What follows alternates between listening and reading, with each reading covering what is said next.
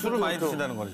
근데 저희는 매일 마셔요. 거의. 얘기하면서 많이 드시는 게 아니라 이제 반주를 조금씩 맞아요. 조금씩. 네. 분위기 내는 아, 거지. 그 이제, 이제, 이제 술들이 나옵니다. 여기 맥주. 맥주, 맥주. 맥주 뭐 맥주 있고 저희는 막걸리.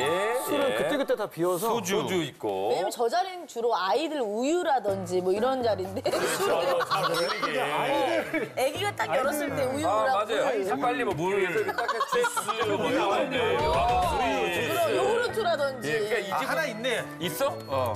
어. 이렇게 하나 있어. 예, 이런 거 하나 있고. 아, 술을 그러니까 즐겨 드시는 거예요. 백순대. 아, 이거구나. 저 이거에서 맛있겠다. 부추랑 같이 마늘이랑 그런데 그러네요. 그런 거죠? 네, 네. 이거 저 쭈꾸미 아니야? 쭈꾸미, 쭈꾸미.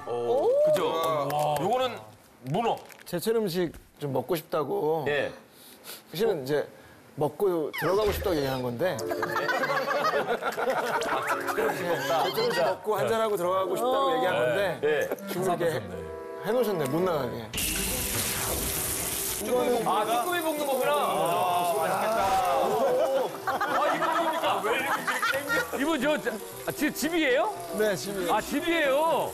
제철 음식 먹고 싶다고 하니까 여기서 해주시는군요. 이만한, 넌 절대 못 나가라는. 넌 절대 여기 한 발짝도 못 나가. 아, 그 비슷한 뉘앙스의 얘기가 좀 있습니다. 집에서 마시고 싶다는 얘기가 아니었는데. 아, 너무 좋다, 진짜. 좋다가 진짜 좋다가 아닌 것 같은데요?